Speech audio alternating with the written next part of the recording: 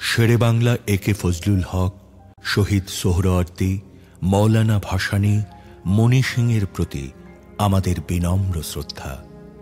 আমরা গভীর শ্রদ্ধা জানাই হাজার বছরের শ্রেষ্ঠ বাঙালি জাতির পিতা বঙ্গবন্ধু শেখ মুজিবুর রহমানকে। আমরা শ্রদ্ধা জানাই প্রবাসী সরকারের প্রধানমন্ত্রী তাজউদ্দিন আহমদকে। আমরা শ্রদ্ধা জানাই একাত্তর পূর্ব ছাত্র নেতাদের, যারা বান্ন, বাষট্টি, ছেষট্টি উনসত্তরে গণ আন্দোলনের সৃষ্টি করে বাঙালি জাতির স্বাধীনতা ও মুক্তির সংগ্রামে বঙ্গবন্ধুর পাশে ছিলেন। আমাদের বিনম্র শ্রদ্ধা রইল তিরিশ লাখ শহীদ ও পাঁচ লক্ষ নির্যাতিত মা বোনের প্রতি। আমরা শ্রদ্ধা জানাই বীর মুক্তিযোদ্ধাদের যারা স্বাধীন বাংলাদেশ সৃষ্টি করতে শহীদ হয়েছেন। আমরা শ্রদ্ধা জানাই লক্ষ লক্ষ মুক্তিযোদ্ধাকে যাদের বীরত্বের কারণে আমরা স্বাধীন বাংলাদেশ সৃষ্টি করতে পেরেছি। আমাদের গভীর শ্রদ্ধা রইল একাত্তর সালের সেই জনগোষ্ঠীর প্রতি, যারা সীমাহীন কষ্ট ও নির্যাতন ভোগ করে মুক্তিযুদ্ধের প্রতি অনুগত থেকে মুক্তিযোদ্ধাদের সর্বাত্মক সহযোগিতা দিয়ে স্বাধীন বাংলাদেশ সৃষ্টিতে ভূমিকা রেখেছেন। এদের সবার কাছে আমরা ঋণী। হাজার বছরের শ্রেষ্ঠ বাঙালি, জাতির জনক, বঙ্গবন্ধু শেখ মুজিবুর রহমানের কাঙ্ক্ষিত বাঙালি জাতীয়তাবাদী চেতনার বিকাশ, শোষিতের গণতন্ত্র, শোষণমুক্ত, বৈষম্যহীন সমাজ, মানবিক মূল্যবোধ, সামাজিক ন্যায় বিচার সামাজিক অর্থনৈতিক রাজনৈতিক সাম্য প্রতিষ্ঠা করে জনগণকে ক্ষমতার প্রকৃত মালিক করে আমরা এদের ঋণ শোধ করতে পারি। আসুন আমরা আমাদের পূর্বসূরীদের ত্যাগকে স্মরণ করে তাদের নির্দেশিত পথে দেশকে এগিয়ে নিই। জয় বাংলা। আমি আব্দুল রুফ নয়ন পিতা মৃত আব্দুল হামিদ খান। মাতা রূপজান বিবি, গ্রাম বিলাসপুর, থানা জয়দেবপুর, জেলা গাজীপুর। আমরা মুক্তিযুদ্ধে গিয়েছি, বঙ্গবন্ধুর ডাকে। তার আগে বঙ্গবন্ধু গাজীপুর তিনবার এসেছিলেন। একবার ময়মনসিং যাওয়ার পথে রেল স্টেশন, আমরা শুনলাম বঙ্গবন্ধু এসছে, দৌড়িয়ে রেল স্টেশন গেলাম, সেখানে সাক্ষাৎ করলাম। দেখা হলো বঙ্গবন্ধু জিজ্ঞেস করলেন, লেখাপড়া করিস? আমি বললাম, জি। বলল, লেখাপড়া করবি, তোরাই দেশ চালাতে হবে তোরা এই দেশের সব ভবিষ্যৎ। আরেকবার রথ খোলাতে আসলেন, সেখানে আমি একটি মিছিল নিয়ে গেলাম, এই গাজীপুর রথ খোলা। তখন ওখানে বঙ্গবন্ধুর সাথে দেখা, বঙ্গবন্ধুর বক্তব্য শুনলাম, বঙ্গবন্ধু ওখানে মঞ্চ থেকেই বলল উপস্থাপককে যে ওকে ধন্যবাদ জানাব আমি একটি মিছিল নিয়ে গেছি, অল্প বয়সে। ধন্যবাদ জানাব। তার আগে বঙ্গবন্ধু এই রানী বিলাসমণির সায়েন্স ল্যাবরেটরির সামনে হোসেন শহীদ সরাদি সাহেবের সাথে আরেকবার এসেছিলেন। সেদিনও আমি এখানে উপস্থিত ছিলাম।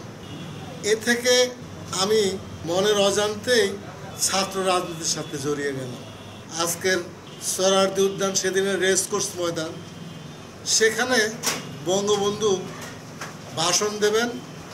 আমি সেখানেও গেলাম, একটি মিছিল নিয়ে। বঙ্গবন্ধুর ভাষণ শুনলাম।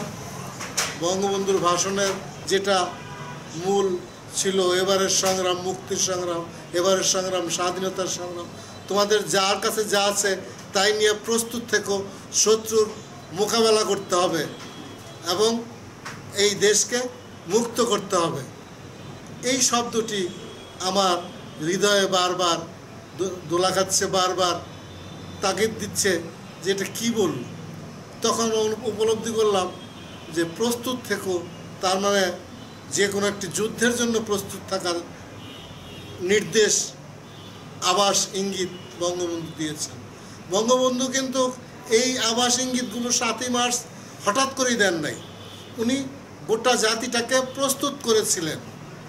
চুয়ান্নর যুক্তফ্রন্টের নির্বাচন, বাউন্নর ভাষা আন্দোলন, ছয়ষট্টি ছয় দফা উনসত্তরের এগারো দফা সত্তরের নির্বাচন। এমনিভাবে আস্তে আস্তে আস্তে আস্তে দেশের মানুষ গোটা জাতিটাকে একটি যুদ্ধের জন্য প্রস্তুত করেছিলেন। পরিপূর্ণ একটি ভাষণ, একটি নির্দেশ সেই দিন সাতই মার্চ ছিল। সেই সাতই মার্চের নির্দেশ পেয়ে বাড়ি ফিরে এলাম, মাকে বললাম রেসকোর্স ময়দানে বঙ্গবন্ধুর মিটিংয়ে গিয়েছিলাম। আমার সাথে সেদিন অনেক লোক গিয়েছিল। মা বললেন, কাকে নিয়ে গেছিলেন আমরা, আমার সাথে অনেক লোক ছিল। আচ্ছা ঠিক আছে। তার কি, কয়েকদিন পরেই উনিশে মার্চ, এখানে ইস্ট বেঙ্গল রেজিমেন্ট ছিল। এখানে ব্রিগেডিয়ার জাহানজেব আসবে বাঙালি সোলজারদের ডিজার্ভ করার জন্য। এই মেসেজটি শফিউল্লাহ সাহেবের মাধ্যমে যুদ্ধকালীন তিন নম্বর সেক্টর কমান্ডার, তার মাধ্যমে খবরটি হাবিবুল্লাহ সাহেবের কাছে পৌঁছলো, শামসুল হক সাহেবের কাছে পৌঁছলো। হাবিবুল্লাহ সাহেব, শামসুল হক সাহেব ল্যান্ড ফোনে বঙ্গবন্ধুর সাথে কথা বললেন, বঙ্গবন্ধু তখন খুবই ব্যস্ত। বঙ্গবন্ধু বলল, তোমরা পারো তো কিছু করো, এই মুহূর্তে আমাকে বিরক্ত করো না। তখন এখানে সংগ্রাম পরিষদ ছিল, ছাত্র সংগ্রাম পরিষদের আহ্বায়ক উনিশে মার্চের আহ্বায়ক গণপ্রজাতন্ত্রী সরকার, বাংলাদেশ সরকারের মাননীয় মুক্তিযোদ্ধা বিষয়ক মন্ত্রী যারা আকম মোজামেল হক ছিলেন সেদিনকার আহ্বায়ক। আমরা সেদিন তাদের নির্দেশে প্রতিরোধ করলাম।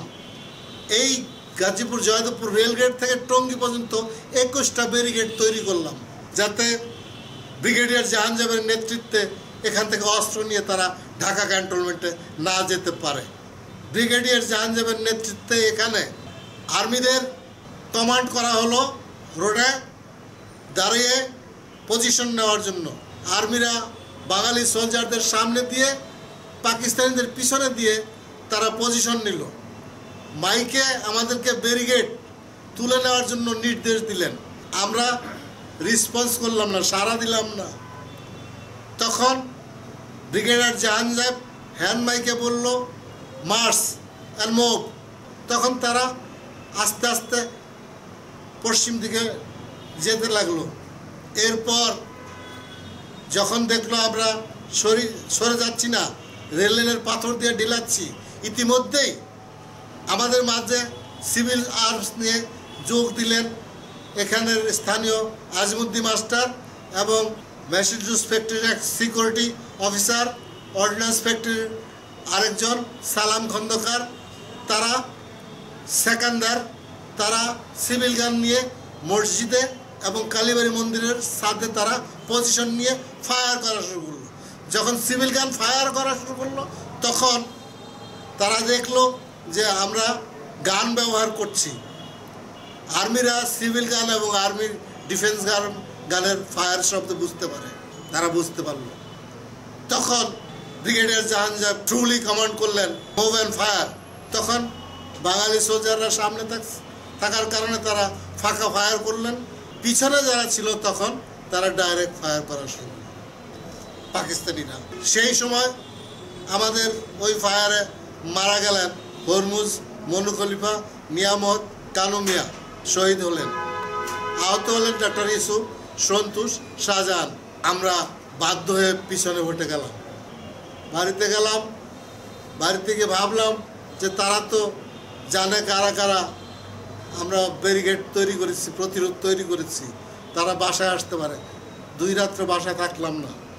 এপ্রিলের দিকে মুক্তিযুদ্ধে যাওয়ার জন্য সবাই প্রস্তুত নেওয়া শুরু করল। আমরাও প্রস্তুত নিলাম। আমি আমার মাকে বললাম, মা, আমি মুক্তিযুদ্ধে যাব। মা আমার সাদামাতা মানুষ, মুক্তিযুদ্ধ শব্দটি তেমন বুঝতে পারেন নাই। আমি বললাম, দেশ স্বাধীন করতে হবে। মা বললেন, স্বাধীনতা কি বাবা? আমি বললাম, ও তুমি বুঝবে না। বলল, তাহলে কি করবে? আমি বললাম, আমাকে এ দেশ থেকে ভারতে যেতে হবে। বলল, ভারতে যাওয়ার টাকা পাবা কোথায়? আমি বললাম, টাকা তো আমার কাছে নাই। বারোটি টাকা মা সংগ্রহ করে আমার হাতে দিলেন। এ নিয়ে আমি রওনা দিলাম। এখান থেকে বর্মি বর্মি থেকে পায়ে হেঁটে ভারতের পথে রওনা দিলাম। সঙ্গে যারা ছিল তাদের নাম মনে সঙ্গে অনেকেই ছিল সঙ্গে হারিস সাহেব ছিল সঙ্গে শামসুল সাহেবের পরিবার ছিল সঙ্গে আমার লগে ছিল আব্দুল জলিল আমার সাথে আরও অনেকেই ছিল। সবার নাম এই মুহূর্তে আমার মনে নেই। আমরা ওখানে সিএনবি ক্রস করে যাই রাজাকাররা ব্রাশ ফায়ার দিয়ে ক্লিয়ারেন্স দেয় যে রোড এখন ক্লিয়ার আছে পাঞ্জাবি মুক্ত আছে, তখন আমরা সিএনবি ক্রস করি, পাঁচ টাকা করে। কারোর কাছ থেকে ছয় টাকা নেয়, আমাদের কাছ থেকে পাঁচ টাকা নিয়েছিল, আমরা তিনটা নৌকা একসাথে গিয়েছিলাম। করে হাঁপানিয়ায় যাই, হাঁপানিয়ায় যাওয়ার সাথে সাথে আমাদেরকে রুটি আর গোড় লোচা গুড় দেয়। হাতে নিয়েছি আমি তখনও খাই নাই। ইন্ডিয়ান লরি আসে। কিছুক্ষণের মধ্যেই রিক্রুটিং এজেন্ট আসলো। হাপানিয়াতে রিক্রুটিং এজেন্ট এসে আমাদেরকে দাঁড়া করালো। সবাইকে খালি গায়ে দাঁড়া করে খালি গায়ে হাফ প্যান্ট পরে দাঁড়া করায় আমাদেরকে চেক করালো। চেক করে হাইট টাইট দেখে আমার বুকে থাপড় দিয়ে সাইড করল মানে রিক্রুট করল। রিক্রুট করার পর আমাদেরকে বলল লরিতে ওঠাও। আমরা নাস্তার যে লুচা, গুড় আর রুটি ওখানে বসে খেতে পারলাম না। লরিতে উঠে খেলাম। লেম্বু চূড়ার ফার্স্ট বেস লেম্বু চূড়া তখন বেশ যায় নাই।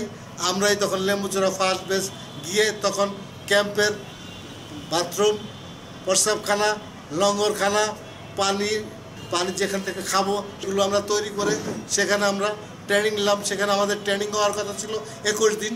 সেই জায়গায় ট্রেনিং হয়েছে আমাদের আটত্রিশ দিন। F F guerrilla. ট্রেনিং সেন্টারে কমান্ডার ছিলেন ক্যাপ্টেন কেবি সিং এবং শর্মা বাবু সেখান থেকে ট্রেনিং দিয়ে আমরা আসি। হেজামারা হেডকোয়ার্টার। হেজামারা হেডকোয়ার্টারে ক্যাম্প ইনচার্জ নুরুজ্জামান সাহেব এবং হোল্ডিং ইনচার্জ শফিক সাহেব। আগে থেকেই আমাকে চিনত। তো আমি সকালবেলা লঙ্গরখানায় একটু সিন ক্রিয়েট করেছি। অর্থাৎ সেই তখনকার বাসায় গ্যাঞ্জাম করা, গ্যাঞ্জাম করেছি। আমাকে পিছন দিকে হাত বেঁধে নিয়ে আসলো শফিক সাহেবের এখানে। শফিক সাহেব বলল, তুই কবে আসছিস? আমি কালকে রাত্রে। হয়তো ওখানে গ্যাঞ্জাম করছিস কে? তোর যা দরকার আমাকে বলবি। যারা নিয়ে আসছে আমাকে হাত বেঁধে তাদেরকে বলল, হাত খোলো খুলে দিল, ওখানে আমার জন্য স্পেশাল ব্যবস্থা করে দিল। Lembuchura training centre, captain K Singh এবং শর্মাবাবু। ওখানে ইন্ডিয়ান আর্মিদের মাধ্যমে ট্রেনিং দেওয়া হতো। তো ইন্ডিয়ান আর্মিরা হিন্দিতে বলতো, আমরা মুক্তিযোদ্ধারা হিন্দি অনেকেই বুঝতাম না। তখন তারাও খুব বিব্রত হতো, আমরাও খুব বিব্রত হতাম। একটি পর্যায়ে কেবি সিং ওখানে দাঁড়িয়ে বলল সকাল সবাইকে ফলিং করতে, সবাইকে ফলিং করল। ফলিং মানে একত্রিত করা। একত্রিত করে বসতে বলল, বসলাম।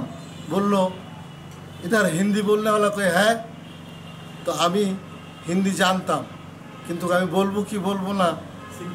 খুব চিন্তিত যে বললে আবার কীভাবে? তো একটা পর্যায়ে ভেবে চিনতে বললাম, হামে আতা, হিন্দি বললাম। কয়ে দাঁড়াও সামনে গেলাম। সামনে যাওয়ার পর পিছনে থাপ্পড় দিয়ে বলে সবাস हम लोग हिंदी में बोलेगा तुम बांग्ला में सब लोग को समझा देना তখন দুভাষী হিসাবে ওখানে আমি কাজ করলাম আমি বা- তারা হিন্দিতে বলতো আমি এটা বাংলায় ট্রান্সলেট করে সবাইকে বলতাম সেই সুবাদে সকল মুক্তিযোদ্ধারাই আমাকে দুষ্টামির ছলে ওস্তাদ ওস্তাদ বলে ডাকতো সেই ক্ষেত্রে সেখানে লঙ্গরখানা আমাকে লাইন ধরে খেতে হতো না গোসল করতে গেলে লাইন দিতে হতো না এবং আমার পিটি বেরেট অনেকটা মাপ ছিল একটা পর্যায়ে দেশে ফেরার পালা আসলো।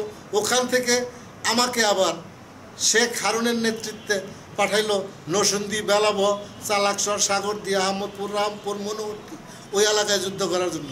ওই এলাকায় কিছুদিন যুদ্ধ করে আবার আমি ভারতে চলে যাই।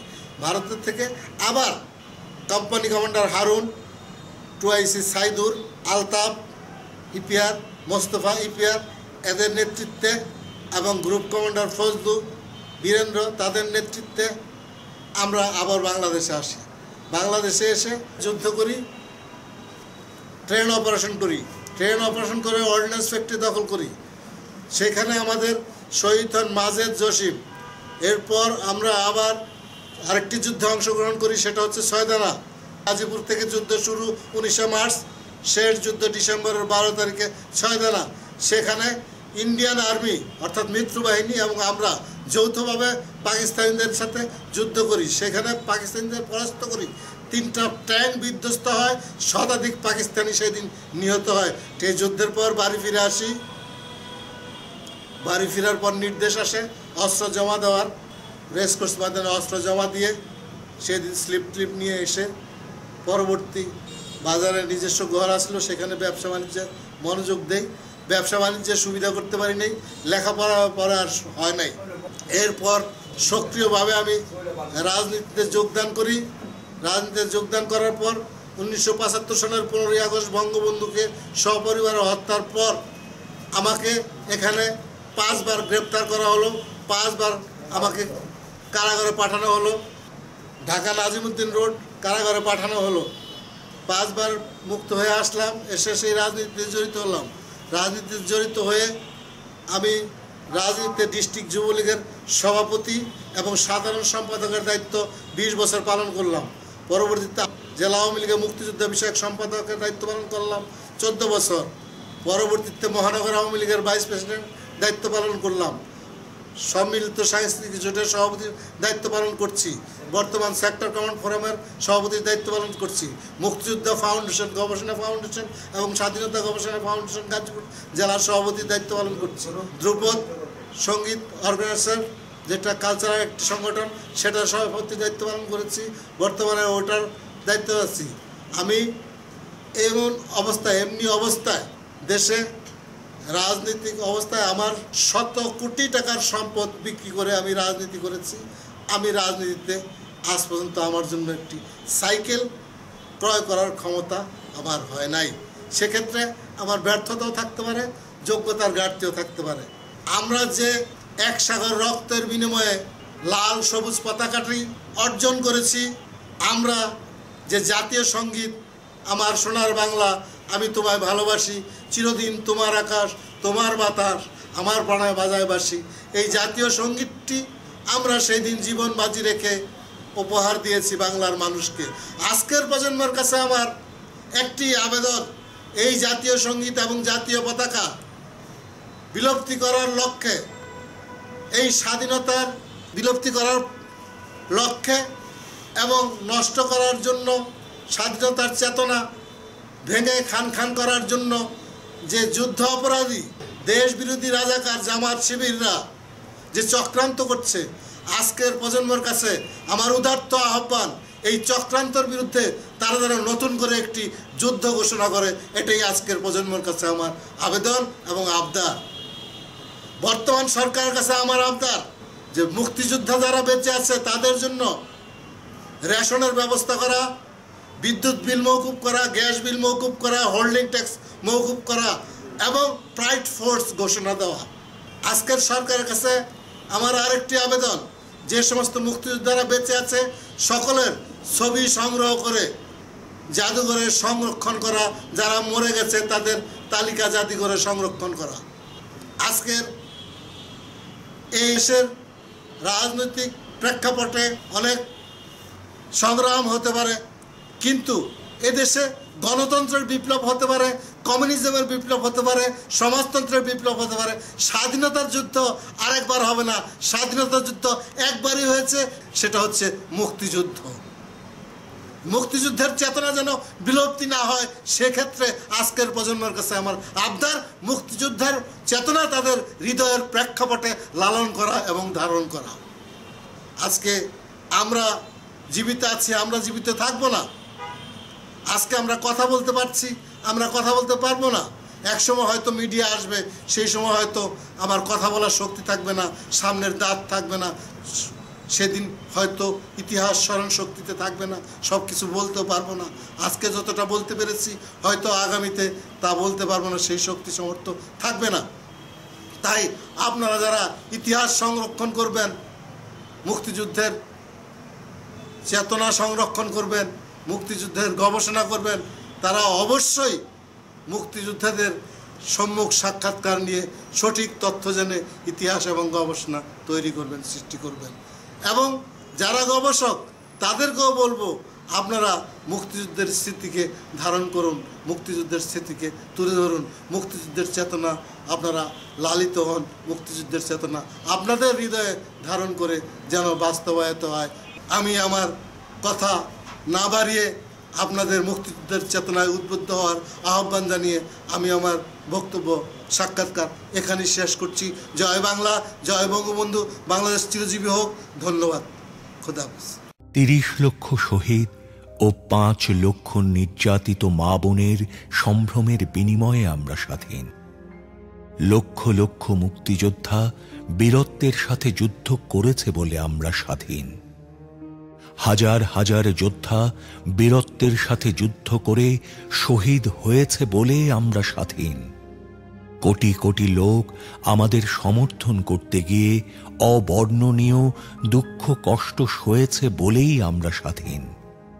হাজার বছরের শ্রেষ্ঠ বাঙালি, জাতির জনক বঙ্গবন্ধু শেখ মুজিবুর রহমানের কাঙ্ক্ষিত বাঙালি জাতীয়তাবাদী চেতনার বিকাশ শোষিতের গণতন্ত্র, শোষণমুক্ত বৈষম্যহীন সমাজ, মানবিক মূল্যবোধ, সামাজিক ন্যায় বিচার, সামাজিক অর্থনৈতিক, রাজনৈতিক সাম্য প্রতিষ্ঠা করে জনগণকে ক্ষমতার প্রকৃত মালিক করে আমরা এদের ঋণ শোধ করতে পারি। আসুন, আমরা আমাদের পূর্বসূরিদের ত্যাগকে স্মরণ করে তাদের নির্দেশিত পথে দেশকে এগিয়ে নেই। জয় বাংলা।